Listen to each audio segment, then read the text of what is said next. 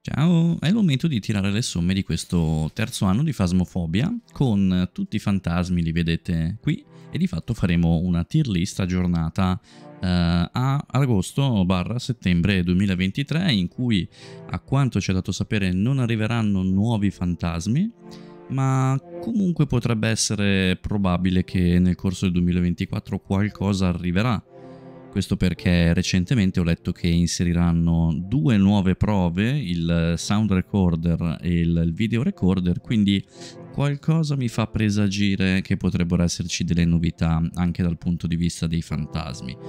Comunque, siamo qui per fare la tier list di, dei nostri 24 fantasmagorici amici, quindi io partirei ordinandoli così, come sono nel libro e quindi dallo spirito Inizierei col dire che lo spirito mm, sarebbe un tier C, anzi di fatto è un tier C secondo me, perché non ha particolari eh, abilità, non ha particolari pericolosità, eh, ma non è neanche uno tra i peggiori, diciamo che la C la considero la, la media, la, la classifica, la, la metà, mettiamola così.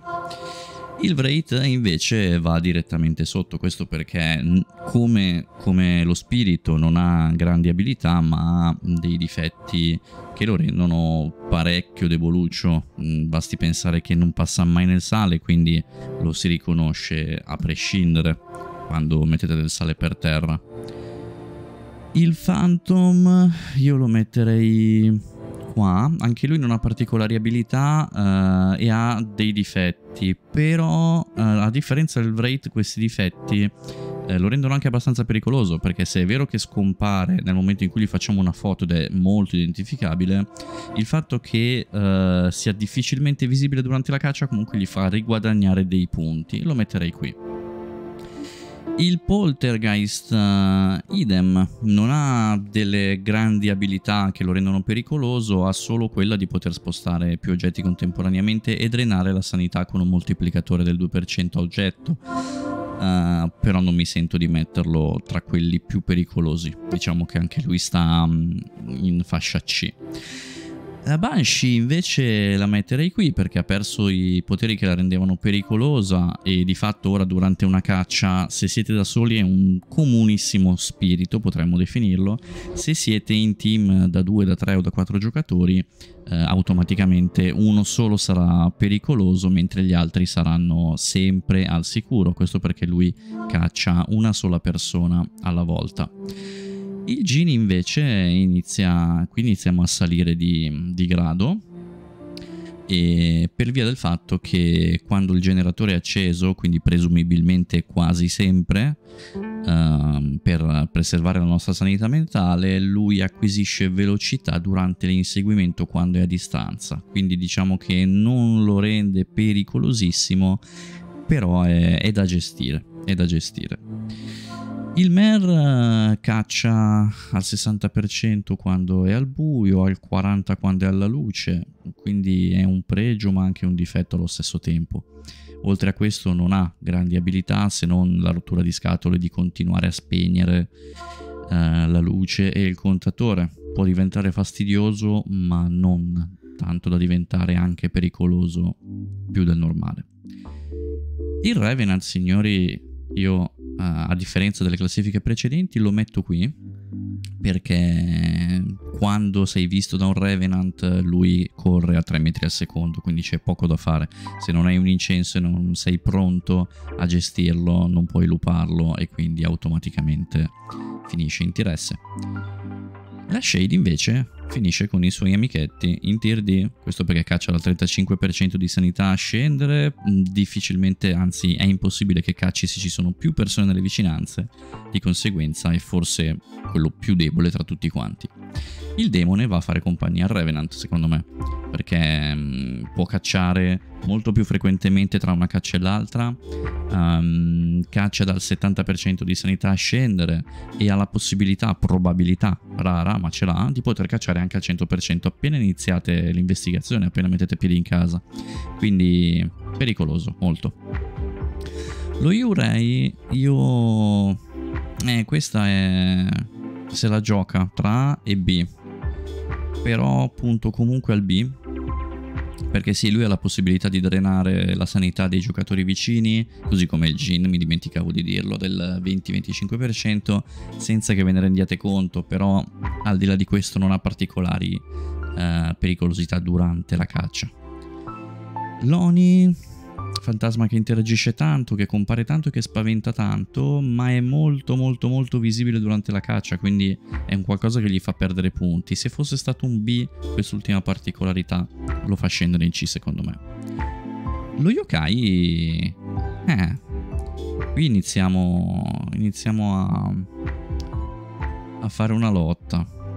No, gli altri non li voglio guardare prima, voglio che venga così come com'è spontanea questa tier list. Quindi mh, mm, lo metterei in tier A, semplicemente perché è gestibile nel momento in cui eh, parlate poco e dosate bene la spirit box. Uh, perché altrimenti caccia dall'80% di sanità, ma durante la caccia vi sente da più lontano, non, non sente parecchio. Uh, scusate, vi sente da più vicino, non vi sente parecchio da lontano, quindi uh, gli fa perdere qualche punto rispetto al TRS. L'Antu anche se la gioca tra l'S e la A, se non fosse che la sua velocità non è sempre presente, ma è mh, dipesa dal, dal, dalla temperatura della casa quindi lo metterei qui. Il Gorio... Il Gorio se la gioca tra queste due. Allora, sarebbe un tier D secondo me, uh, per via del fatto che non ha pericolosità aggiuntive rispetto a un comunissimo fantasma, ma il fatto che uh, si renda più difficilmente identificabile perché essendo timido non compare nei dot se non quando è da solo e se non solo tramite la videocamera, lo andiamo a mettere in tier C. Il Myling. Um, il Myling fa dei suoni più frequentemente attraverso microfono parabolico, si sente meno durante la caccia, quindi sono due tratti identificativi, anche senza prove, e non ha pericolosità mentre caccia, quindi direi che lo andiamo a mettere qui. A meno che non consideriate il fatto che si senta poco da lontano il rumore dei passi e il rumore della voce, allora questo lo farebbe automaticamente salire di un punto, ma non nel mio personalissimo caso. L'Orio invece non lo metto in S ma lo metto in A perché comunque l'abilità di poter cacciare qualunque sanità eh, allo spegnimento di, di, una terza candela, di ogni terza candela, sia che la spenga lui sia che venga spenta autonomamente, eh, lo rende molto molto molto pericoloso ma non tanto da dire ok se caccia è un problema. I gemelli sono un cavolo di problema veramente, non tanto per, uh, per la caccia, quanto perché uh, potenzialmente se uh, trovate prima tracce del, del fantasma esca, questo farà sì che la vostra investigazione venga rallentata di parecchio perché vi farà perdere tempo. Ora che capite che non si tratta di un comune fantasma ma si tratta del fantasma esca dei gemelli ne avete perso. Quindi non caccia in maniera pericolosissima, ma in A ci va. Il Raiju è un T-Rex. Eh, si, si, comporta come un comunissimo fantasma durante l'investigazione, ma eh, caccia dal 65% di sanità in giù e eh, nel 90 99% dei casi mi sento di dire caccerà eh, in una zona dove c'è uno strumento elettronico acceso almeno e quindi sarà velocissimo.